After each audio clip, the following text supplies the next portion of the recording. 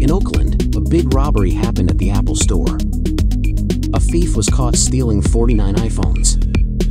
The workers were shocked, and now the police are trying to find out who did it. People are wondering why someone would do such a thing. We'll keep you updated on this story as more information comes in.